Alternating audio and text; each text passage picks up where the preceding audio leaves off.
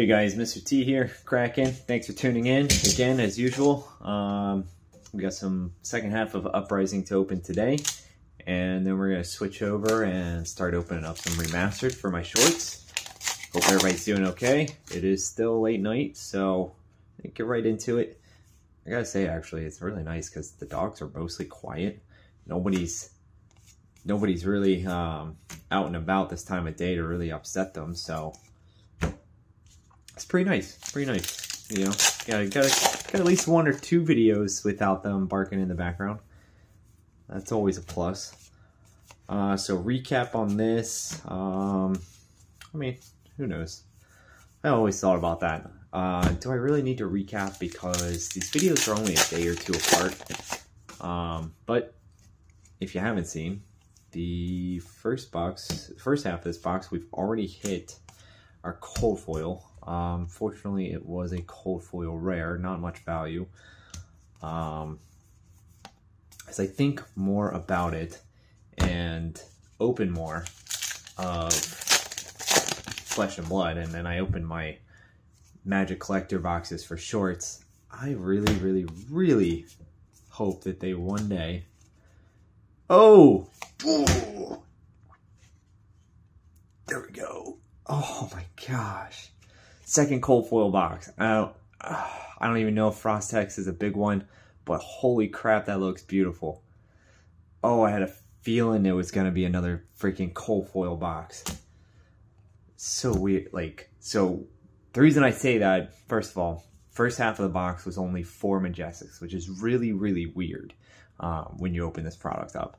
Usually you're hitting five and your cold foil, um, or you'll hit five or six in the other half. So to only hit four and your cold foil already was a rare, I just, I don't know. Something was telling me this is uh, the second half. There should be another cold foil in there. Uh, I don't know what, I'm pretty sure Frost Hex was a good Majestic to begin with, um, but I don't know what the cold foil value is going to be. I'm not, I really don't keep track like that. I know what some of those big, big ones look like. Um, and it's not a dragon, so it's kind of hard. It's not a Marvel. I mean, you never know, though. Could pull another Marvel.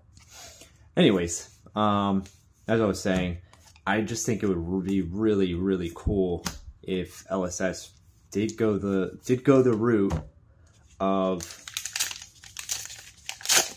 of pulling collector backs. Like if we had a higher end pack to open, I would really like that. I mean, for me, the shorts go great. They're they're quick. I'm able to open up. I'm able to create content over a long term, like long period of time from a product that costs a lot more.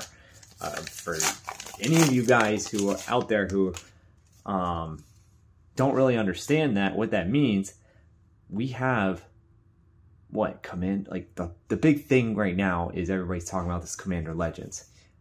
If if you're seriously thinking that everybody's going to sit there and just crack open three, four hundred dollar boxes, I mean, no offense, but it, it, that gets even hard for me because everything I open on here is from my own position. So that means I'm giving up a portion of my long term hold when I when I open products. So, oh, beautiful, beautiful Arctic and incarceration. So just something to keep in mind when it comes to content creators like myself who are basically funded on by themselves until they're able to get to that point where, you know, I do have help of monetization. I even looked it up later, um, just to kind of get an idea of what I'm going to be able to give back later. I mean, even to, even after monetization, you're not talking a crazy amount of, of money to be able to to do additional openings off of. So I don't know. I just the whole point is is I think the collector packs for Flesh and Blood, if they actually did it correctly, would be amazing. Um, I would really enjoy opening that for the for the channel for content. I wish Magic was much better. I wish we weren't going in the direction of the prices we're seeing. I don't understand how a draft box or a set box at $400 is going to be feasible. I don't even know what you could put in there. I literally hate this Frightmare. And I guess I spoke too soon. There go the dogs. Um, maybe there's a cat on the porch. Who knows? But I hate I hate getting that majestic so much. But yeah, I don't I don't see like what are they gonna put into a four hundred dollar, five hundred dollar box, thirty six packs. Um, that's gonna make us want it. Now I will say I don't know what that ring card is to be, that serialized ring card for the Lord of the Rings is to be when that set comes out, but it better be a friggin' Sol Ring. Just saying. It better be a serialized Sol Ring. Thing better be beautiful. I cannot wait to see how they do that. That is, I love the Lord of the Rings. I mean, hey, I'm opening Flesh and Blood, and if, like, the whole idea of rangers, of knights, of that kind of fantasy realm, that's always been exciting to me. Um, yeah, that's that's gonna be amazing. I don't even know. Like if I could flip and open one of those on camera, I'd probably lose it.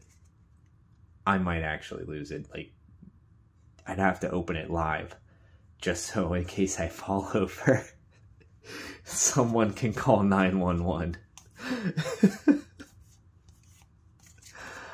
Oh, enough rambling from me, guys. Thanks for watching, Mr. T, Kraken. Make sure to subscribe, support the channel. Appreciate appreciate everybody. And uh, we'll go ahead and start on this tonight. So, more spoiler. Have a good night, guys.